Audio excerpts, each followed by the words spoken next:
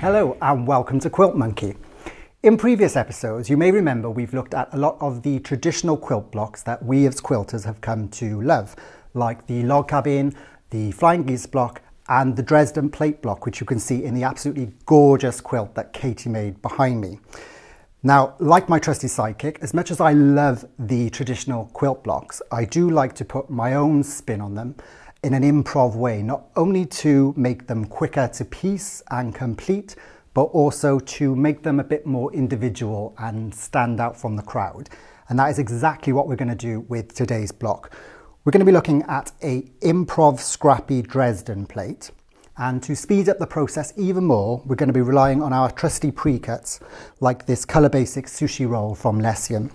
Now we all have pre-cuts in our stash. We've talked about them loads on the show before. Some of us are not quite sure what to do with them. This is a great block that's going to help you use these pre-cut strips. And there's a lot we can do to individualize it. We can finish the edging in a different way, we can finish the center in a different way, and we can really have fun with color placement, all coming together to give us this fantastic block that you can either make as a quilt or a cushion cover or piece into a larger sampler.